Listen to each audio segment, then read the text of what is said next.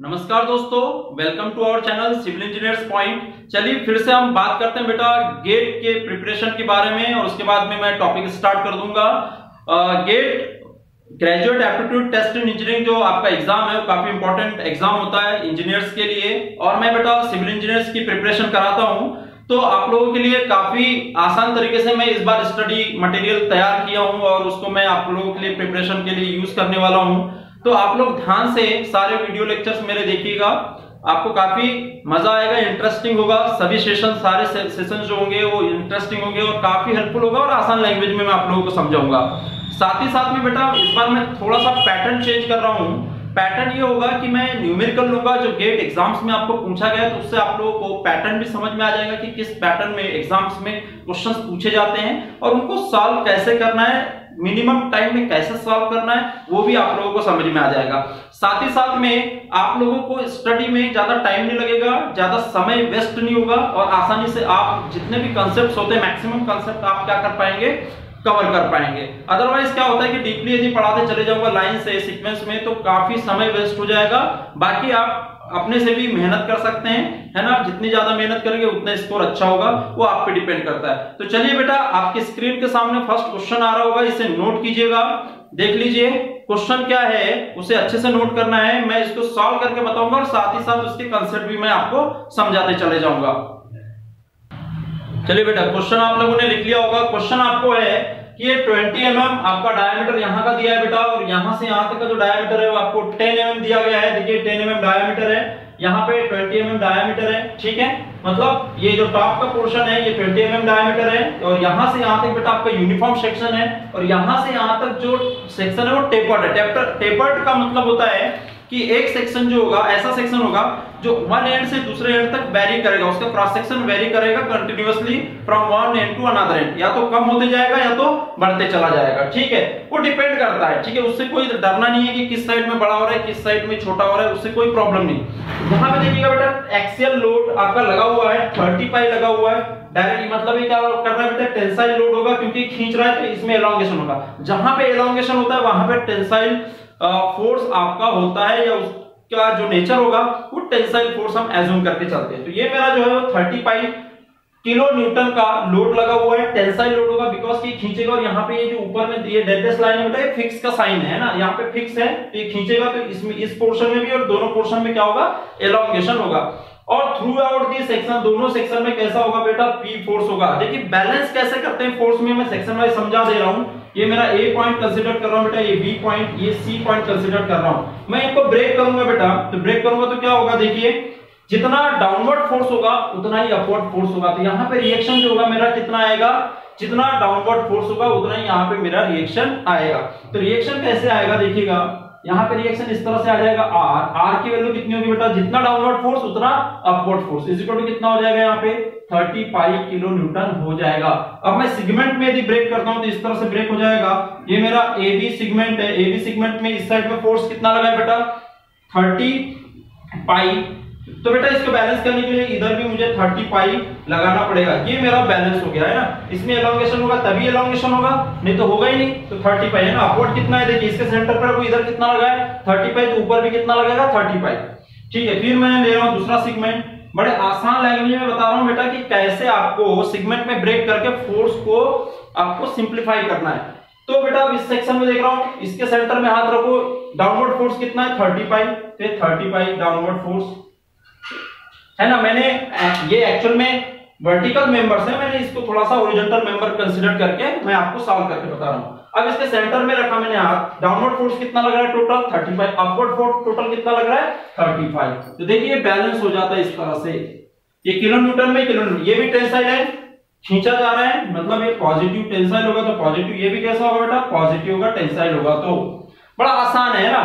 इससे इस मेंबर की जो लेंथ है बेटा 1.5 मीटर है। इसकी कितनी है? आपका टू मीटर है। दोनों की लेंथ आपके पास अवेलेबल है टू मीटर इसके लिए गिवन है 1.5 मीटर इसके लिए गिवन है। इलास्टिसिटी यंग्स मॉडुलस आपको दिया गया है 2 into 10 to the power mega pascal 1 mega pascal 1 mega pascal is equal to आपका होता है बेटा 1 न्यूटन पर NM square you understand betterly और आपने पढ़ा भी होगा कि 1 mega pascal is equal to कितना होता है आपका? 1 न्यूटन पर एमएम स्क्वायर होता है। तो यहाँ पे कितना दिया गया है? Two into ten to the power five mega pascal दिया हुआ है। और अब पूछा है बेटा कि ये जो ए सेक्शन है ए पॉइंट है ए पॉइंट का डिफ्लेक्शन कितना होगा? या इस एंड का डिफ्लेक्शन कितना होगा? डिफ्लेक्शन का मीनिंग होता है डिफॉर्मेशन डिफॉर्मेशन इस सेक्शन का कितना होगा? मतलब कि मैंने यदि फोर्स लगाया हूँ तो ये पॉइंट डिफ्लेक्ट होके कितना नीचे आएगा? या डिफॉर्मेशन होके कितना नीचे आएगा? Change in length extension, shortening, contraction, deflection, these are same words, okay? इनका मीनिंग सेम होता है। सभी वर्ड्स का मीनिंग जो होगा सेम होगा। इस बात को आप लोग नोट कर ले, है ना? तो नोट कर लिया आप लोगों ने इस बात को? अच्छे से नोट कर लीजिएगा। ये सारी चीज़ें जो भी मैं बता रहा हूँ। तो इसको मैंने खींचा। खींचने के बाद अब इसमें डिफॉर्मेशन होगा। अब मुझे फार्मूला लगाना है डिफॉर्मेशन का कि क्या डिफॉर्मेशन होगा। इसमें भी डिफॉर्मेशन होगा, इसमें भी डिफॉर्मेशन होगा। तो डिफॉर्मेशन इज़ इक्वल टू ध्यान से देखिएगा बेटा del L is equal to होता है डेल एल या डेल्टा इज़ इक्वल टू आप लोगों ने फार्मूला पढ़ा होगा P L upon A this is my simple formula लेकिन ये जो फार्मूला है, ये फार्मूला कहाँ यूज़ होता है? जहाँ पे आपका सेक्शन यूनिफॉर्म हो प्लस प्रिज्मेटिक हो. प्रिज्मेटिक मतलब circular section triangular section square rectangle section this all sections are called prismatic section और यूनिफॉर्म हो, कहीं पे भी चेंज ना हो, उनका जो डायमीटर होता है या क्रॉस सेक्शन होता है, वो तो किसी भी पॉइंट पे चेंज नहीं होता है तो वो होता है मेरा यूनिफॉर्म सेक्शन तो यूनिफॉर्म सेक्शन के लिए ये मेरा डिफॉर्मेशन का जो फार्मूला है PL upon A due to external load applicable होता है. अब बेटा, जहाँ पे यूनिफॉर्म नहीं हो कंसीडर करते हैं, ये ये यूनिफॉर्म सेक्शन नहीं है this is my tapered section और सर्कुलर टेपर्ड सेक्शन है। तो सर्कुलर टेपर्ड सेक्शन के लिए जो फार्मूला होता है बेटा डिफॉर्मेशन का डेल्टा इज़ इक्वल टू वो होता है बेटा 4pl upon pi E d1 d2 this is my formula for tapered section circular tapered section understand है ना प्लीज़ कि सर्कुलर सेक्शन के लिए जो डिफॉर्मेशन का फार्मूला होगा, वो 4pl upon pi e d1 d2 d1 d2 क्या होगा? स्मॉलर एंड बिगर डायमीटर है ना? तो यहाँ पे स्मॉलर डायमीटर 10 mm होगा यहाँ का, और यहाँ का कितना है? 20 mm है. Just put this all data in deformation formula and get delta is equal to यहाँ क्या हो जाएगा? डेल्टा 1 प्लस डेल्टा 2 ये डेल्टा 1 हो गया, और ये डेल्टा टू हो गया. है ना? आप लोग इसको अरेंज कर लीजिएगा सीक्वेंस में. ठीक है? तो यहाँ पे delta one is two P L upon A uniform section है यहाँ से यहाँ तक। तो यहाँ पे ये फार्मूला लग जाएगा। यहाँ पे कौन सा फार्मूला लगेगा बेटा इस सेक्शन में? इस सेक्शन में ये फार्मूला लग जाएगा four P L upon pi D दोनों में एलोंगेशन हो रहा है। देख लीजिए एलोंगेशन यहाँ से पता चल जाएगा। क्योंकि मैंने सेपरेट सेपरेट कर दिया। थर्टी पाई यहाँ पे भी थर्टी पाई है। यहाँ पे भी एलोंगेशन हो रहा है। यहाँ पे भी एलोंगेशन हो रहा है। है ना? तो आप लोगों को इजीली पता चल जाएगा। चलिए तो आप लोग नोट कर लीजिएगा तो मेरे पास दोनों फार्मूले अवेलेबल हो गए अब मैं इसको सॉल्व कर रहा हूँ। तो ध्यान से देखिएगा बेटा। ध्यान से आप लोग देखिए।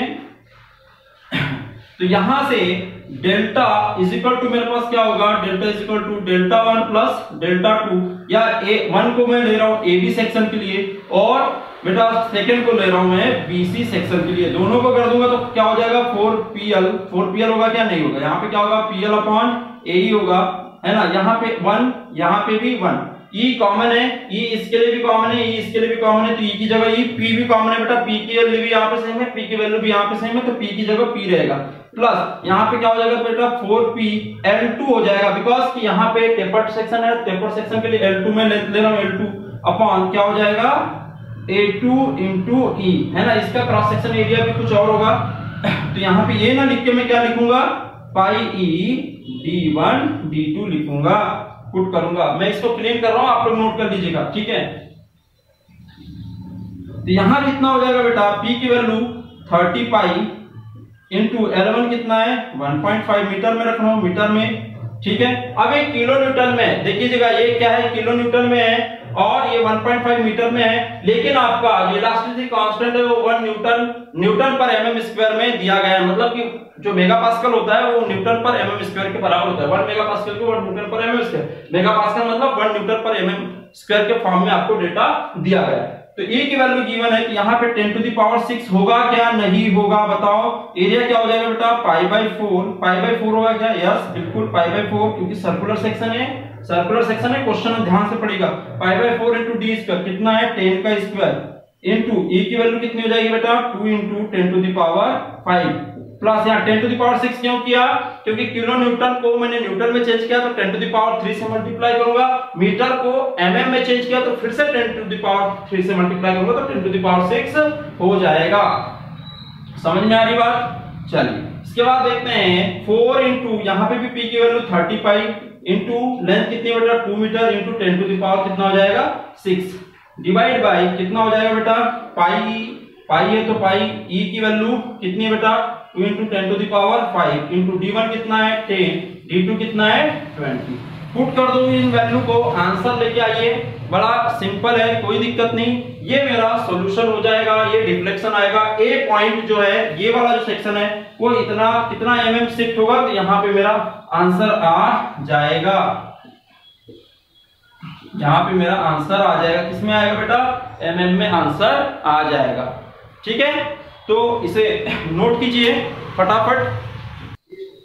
नोट किए बेटा, इसे नोट कर लो, बड़ा आसान है। इसका आंसर होगा नाइन एम mm और इसका आंसर होगा बेटा सिक्स एम mm ठीक है? इनका, और दोनों पे ऐड कर देते हैं। यदि दोनों पे ऐड कर देते हैं तो मेरा जो आंसर होगा, इसको मैं थोड़ा सा अच्छे से लिख दे रहा हूँ। नाइन एम mm देख लीजिएगा इधर उधर वैल्यू हो सकती है। Nine M M plus six M M थोड़ा बहुत पॉइंट में इधर उधर हो सकती है।